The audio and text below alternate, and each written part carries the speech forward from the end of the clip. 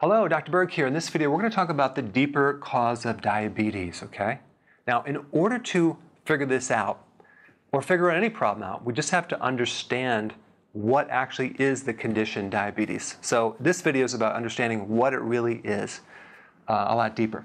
Um, typically, when you think about diabetes, you always think about high blood sugar, right? A1C, it's an average of three months of high blood sugar. You do a fasting blood sugar. Okay, that's how you diagnose diabetes. Go to the doctor. Diabetes is high sugar, right? But let's go deeper. What causes the high sugar? That's the question. What controls the balance of sugar is insulin. And insulin has many functions, but one main function is to act as a cellular key to allow glucose to go in the cell.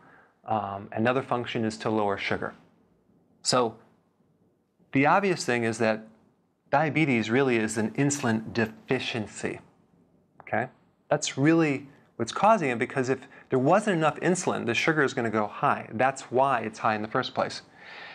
And when you have insulin deficiency, especially in a pre-diabetic state called insulin resistance, or just diabetes type 2 in general, um, you have a situation where your body makes more insulin to compensate for the insulin deficiency. Okay? So if you look at the cell, the cell absorbs insulin and it's supposed to then create a, a, an effect of lowering the blood sugar. So with insulin resistance, the receptor starts blocking right here. And then a signal is sent to the pancreas, and of course, it's going to start making more and more insulin so we can drive that communication into the cell. But the first thing that happens is an insulin deficiency. So diabetes is an insulin deficiency, okay? So let's look at the big picture. Here we have a situation where we have insulin resistance, okay? Really, resistance means ignoring. Now, why would this little receptor ignore insulin? That's what I want to talk about next, and that's really the key to understanding the whole picture. Insulin is a hormone. Hormones follow the law of communication. So just like in, in life, um, why would um, you ignore someone? Typically because they're obsessively communicating. You ever talk to someone who just will not shut up? They keep talking over and over and over. I mean, you'll be looking at something else over here and they continue to communicate obsessively as you're paying attention to them. So obviously they're not in the present time, right? Well, the same thing happens with the body. There's obviously too much obsessive communication, too much obsessive insulin that's then causing the cell to ignore uh, that hormone. Okay, that's really what diabetes is. Your little cells are ignoring insulin.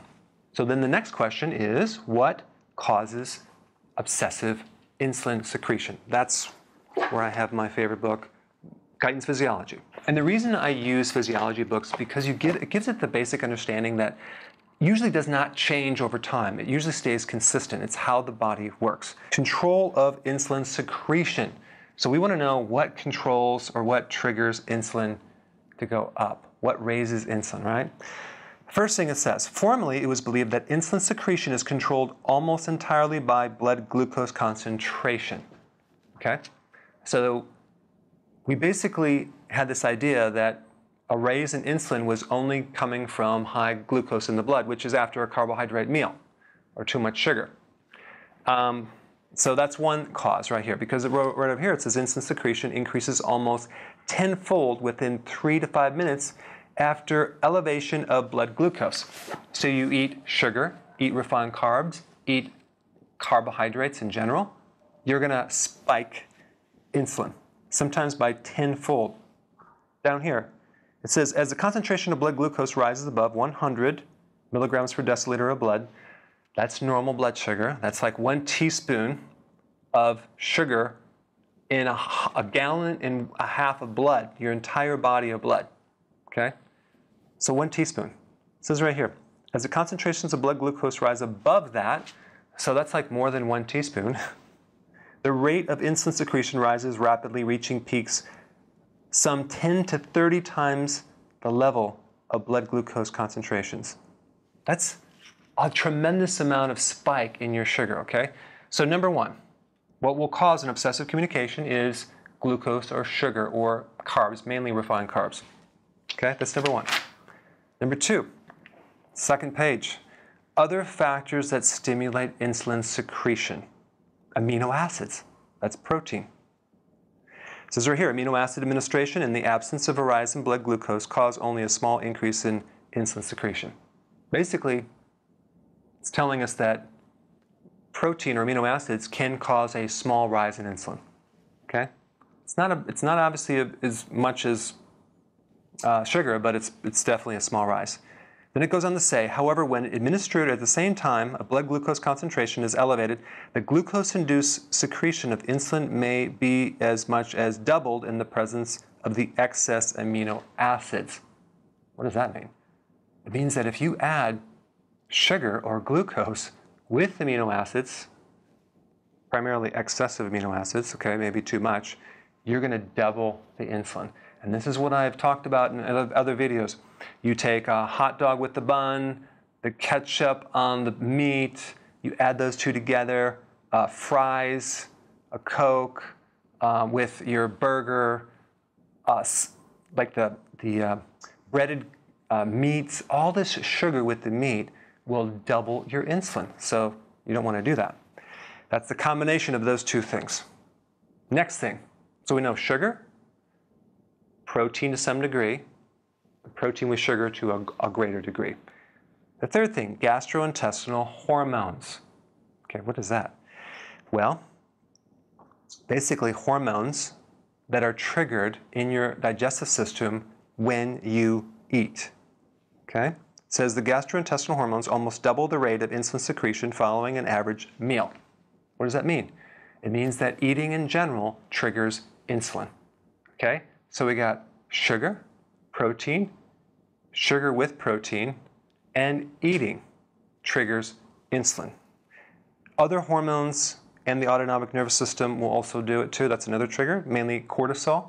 Now, cortisol is the stress hormone, so stress will also increase insulin as well. But nowhere on this page, in this chapter, in this book, does it say that saturated fats triggers insulin. So saturated fats is not the cause of diabetes or insulin resistance. It's not in the physiology books, okay?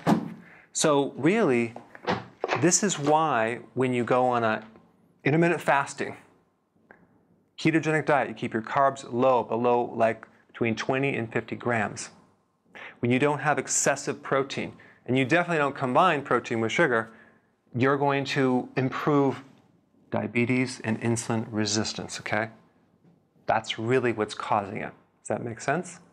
So if we don't trigger insulin as much, it can heal and this resistance will go away and the body will start balancing out. So check out this great little demo on an actual person who applied this information.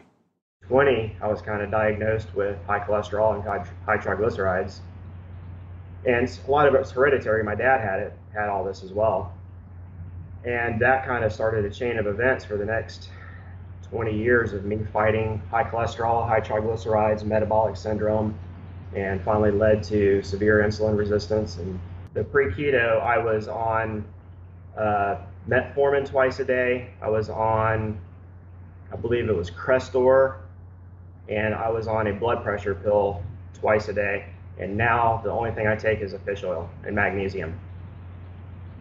I have my latest blood work. I just had this done like like two weeks ago. If I can tell you the numbers real quick. Um, my total cholesterol now is 241. My LDL is 151. My HDL is 70, and triglycerides are 55. See, triglycerides are probably one of the best indicators, and you're you're totally fine. You're running on ketones, big time. And I had the particle test, the particle test done with this as well, and the whole thing is in the large, fluffy category. So it's perfect. That is so incredible. Um, one question on that: um, Your father is he still around? No, no. I lost him to heart disease uh, 11 years ago. Grain fed to grass fed beef and butter, pasture raised eggs, um, no artificial sweeteners. Uh, right now we use um, stevia for our sweetener in our coffee. So we, we just made a huge change.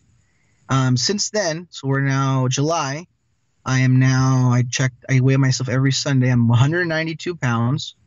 Um, my last month, my doctor um, advised me that my diabetes has been reversed. I have uh, an A1C of 5.2, I believe, or 5.4, one of those two. My triglycerides went from 1375 to um, a little over 100. That's normal. Um, everything is just improved. All my markers have improved. Cholesterol is level. It's normal. Wow. A dramatic change. Hey, if you haven't already subscribed, press this little button down below, okay? Thanks.